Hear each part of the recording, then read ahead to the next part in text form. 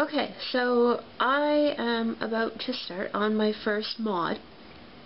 Um, I bought a second second-hand Frankie, and somebody's cut off her sleeves, and they've uh, given her a bit of a haircut. So this is the one I chose because I had two of them. This was actually the first Monster High doll I bought. I got her second-hand, um, but she's wearing the other one's dress because it wasn't very good shape.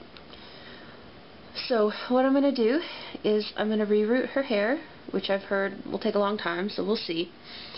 Um, I've I picked up this uh, Bratz doll for like 50 cents. I apologize to the Bratz fans, um, but I, I'm going to cut off her hair, and I'm going to reroot it into Frankie's. Um, I wanted to do a harpy creature. Whoops. I wanted to do a harpy creature. Um, so hopefully um, I can get the colors to work because green and brown is kind of kind of strange color combination. So yeah, here's here's hoping. You Frankie? So step one complete. All her hair is cut off. And somebody had said something along the lines of keeping hair because you always need it around. So I kept her hair and I cut it off into a plastic bag so that I wouldn't make a huge mess. So now I get to pop her head off. Said to boil her, make the, the plastic softer. I'm going to see if I can pull it out without doing that first, but if I can't, then well, Frankie's going to get boiled. Sure it won't hurt her much. A little bit of water and pulling straight down, and it came right out. And, yeah now she has a head. And there's this very large turquoise thing that was keeping her on. So hopefully I'll be able to get the head back on fine. So now what you need to do, um, I wish I had better scissors. I could have cut the hair off shorter. But I've got to go in through that very tiny hole with a pair of tweezers and pull out the, the glue that's in there. And then I will have all these little empty holes that I can start putting the stuff the hair through. So, yeah, that'd be neat for Frankie to hold onto her head. I'm sure you'll be fine. So, I got all her hair out with the glue, and that was uh, not fun. Um, and I noticed that when um, I put her hair under the water to try and get the glue out, that some of her um, eyebrows started to come off. So she I was able to run her into hot water and just get her eyes off, which is good. So I've heard acetone can ruin the vinyl, so yay, Frankie! I finally finished my first mod, and it was, well, it took a while because I didn't have all the materials right off the bat, and it, um, it was interesting. Uh, I definitely, well, I, I kind of like her now you know, I, I guess I had uh, higher expectations than what I actually got, so she doesn't look like what I had anticipated, um, but it's definitely a good learning experience, and I definitely will be trying again. Um, so I'm going to show you kind of a before and an after, I guess, and then just talk a little bit about, I guess, what I've learned doing it, and hopefully that'll help someone else out. Okay, so So this is what the uh, original doll looked like, pretty much. She had both her arms, um, but as you saw in one of the previous ones, you know, her hair was cut, the dress is messed up. This is just another one I got secondhand. Um, she's going to be my next one. So we shall see how she turns out. Alright, so this, and we'll see if I can get her in good so, so she's not too blurry. Too bright. Too bright. Uh, so, I'll have to take a photo because I'm sure that if I go in too close, yeah, it just blurs the hell out. Sorry, I didn't mean to swear. Um, so anyways, this is my, uh, my harpy creature. Um, as you can see, she has a, woo, very tippy stand. Um, okay. So she has a full reroot. Oh, she's not going to stand up properly now. And she has some wings. Whoops. This is a terrible stand. she's really heavy. Her hair, like, tips her over a lot. Um, that is a... see if I can get a better shot of it. Oh, the stand part came out. Okay, so it's... It was a, um, a keychain, like a broken keychain, and I just used a little tiny piece of wire and I just kind of wrapped it around. Whoop. I'm going to set the camera down or this is going to be terrible. Jeepers, you just, you want to fall over, you're tired. You're sitting out in the sun all day. Okay, stand up. Alright. Very, very uh, top heavy. Something to consider when you're doing um, their hair. Okay, so uh, what was difficult?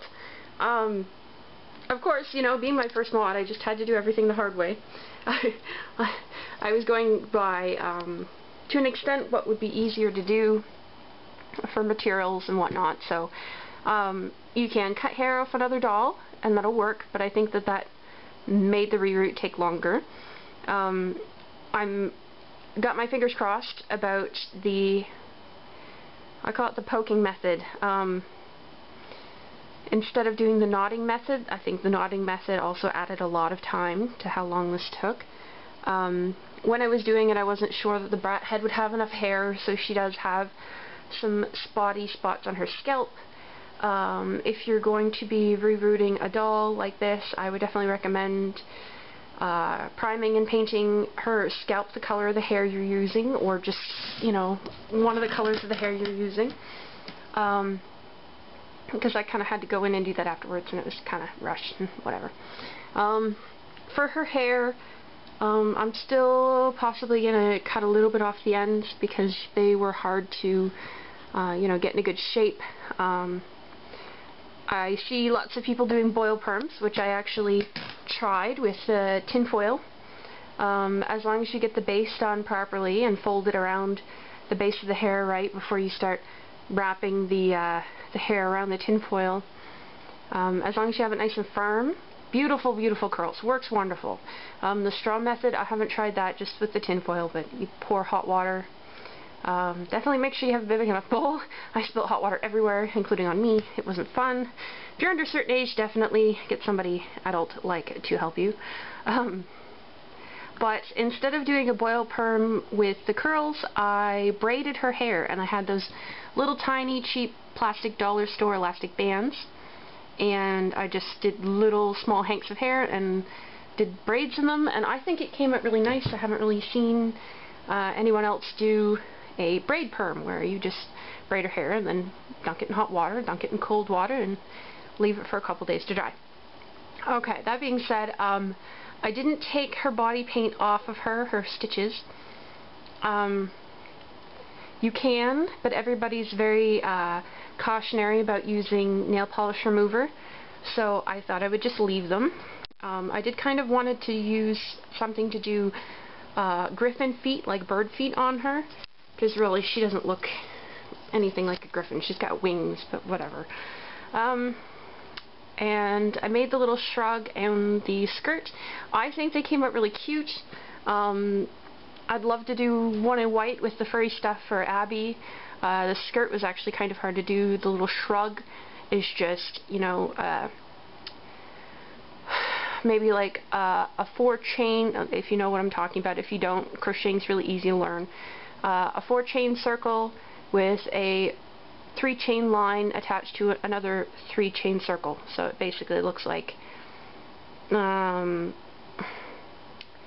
like a lollipop with two ends. Like, I don't know. It's two circles and then a line in the center.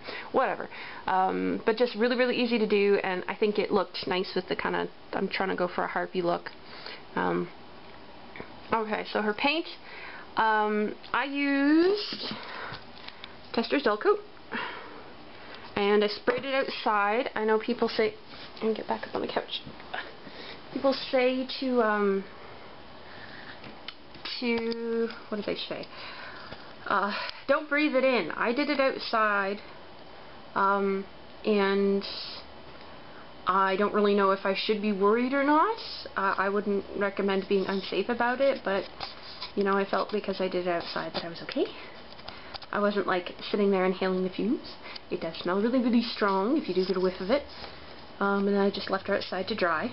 Um, I washed her all up. I did two coats of Testors, thin. Thin is very important, because um, then you won't have glops or whatever. Um, and then I had some chalk pastels, and people say to rub them on some sandpaper, and then you'll get the chalk powder, and then you can use it to blush and blend, blend, blend. Um, but I just used the paintbrush, fluffy paintbrush on the piece of chalk itself and just got a little bit of color and did it like that. I did it like, woo, all over again.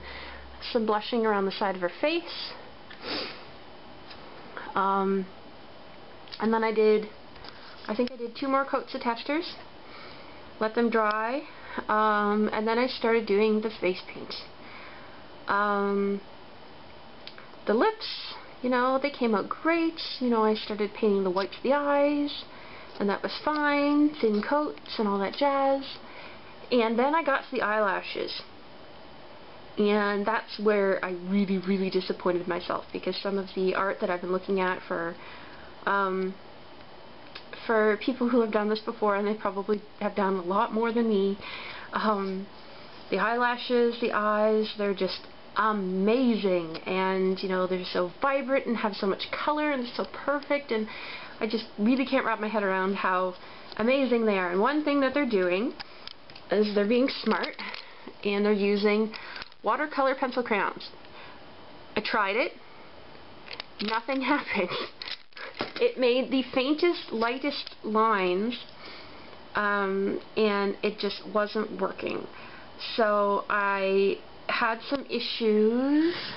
Make her all blurry on you. Woo! I knock her over, of course. Yes. She's just exhausted. She's been through so much. Um, yeah, okay, see. So, I did the eyelashes on this eye, and they came out perfect. You know, I just used the black. I had a little bit of purple liner. You know, it looked lovely. And then when I got to this side, I was having trouble with the angle of my paintbrush. And instead of having these lovely little wispy eyelashes, she has big, chunky, goopy eyelashes all around the top. Um, now I had to, like, set her down and pout in a corner for a little while, and I, I just kind of had to step away from her for a little, because, um, I was so disappointed. Um, but I'm okay with her now. You know, she looks pretty good from a distance. Um, I think it's a pretty good dry for a first one.